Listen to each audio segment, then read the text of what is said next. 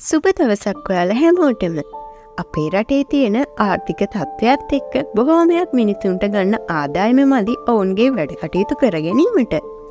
පාලකීන්ගේ තියෙන දුර්වලකම් සහ දෙසි ක්‍රියාමාර්ගයන් නොගැනීම හේතුවෙන් එක පලවිපාක විඳින්න වෙන්නේ මධ්‍යම පන්තියට සහ ඊටත් පහලින් සින්න නිර්ධන පන්තියට. මේ හේතුවෙන් බොහෝමයන් තරුණ ප්‍රජාව විදෙස්ගත වීමට නැඹුරු වෙලා තියෙනවා. ලෝකයේ සිටින බලවත් මෙන්ම දනුවත් පුද්ගලින් ඔවුන් එතැන්ට පැමිණි තමන්ගේ උත්සාහය සහ මහන්සේ.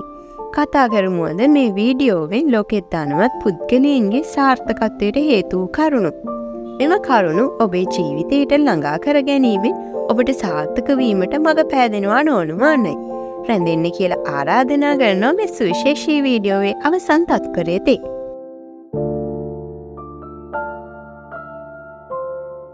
පළමු කරුණ වන්නේ ආදායම වියදම සමාන නොකර ජීවත්වීමයි. ඔබේ ආදායමට වඩා හඩුවෙන් වියදම පවත්වා ගන්න ඕනි.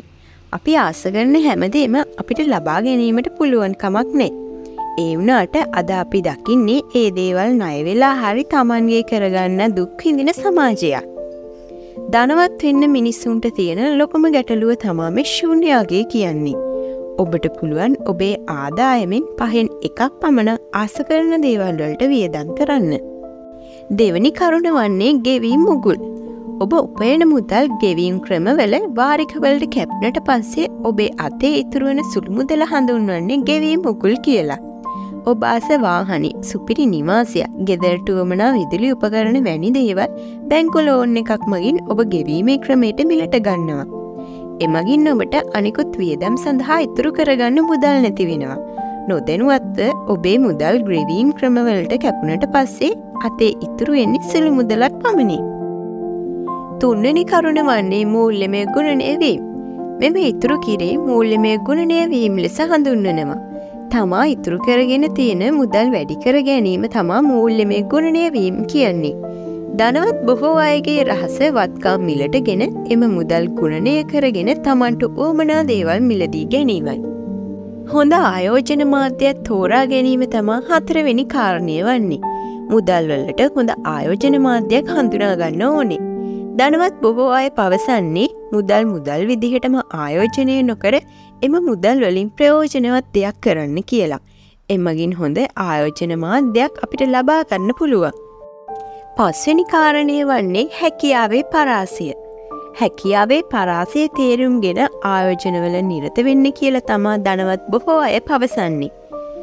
ඔබ දන්න දේවල් මතකේ තියා ගනිමින් ඔබේ දැනුම තව තවත් වැඩි කරගන්න කියල තමා ඔවුන් කියන්නේ. තමන්ට වාසිදායක වෙන අවස්ථාවලදි දැනුම් සීමාවේ සිට සාර්ථක වෙන්න උත්සාහ කරන්න ඕනේ. අවසානයට අපි ඔබට පවසන්නේ ඔබට ලැබෙන අවස්ථාවෙන් උපරිම ප්‍රයෝජන ගන්න කියන එක. ධනවතුන් පවසන්නේ තමන්ගේ ජීවිතයට ලැබෙන අවස්ථාවලෙන් උපරිම ප්‍රයෝජන ගන්න කියලා. මූල්‍ය මේ ස්ථාවරයකට ලන්වෙන්න තමන්ට උනන්දුව උත්සාහය හොඳ සැලැස්වක් වගේම පැහැදිලි දැක්මක් තියන්න ඕනේ.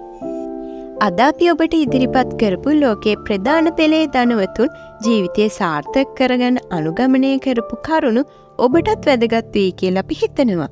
එහෙනම් තවත් වීඩියෝකින් හමයමු. අමතක නොකර අපගේ YouTube චැනල් එක සබස්ක්‍රයිබ් කර අප සමඟ එකතු වෙලා ඉන්න. තව කෙනෙකුට බලන්න මේ වීඩියෝ එක ෂයා කරන්න.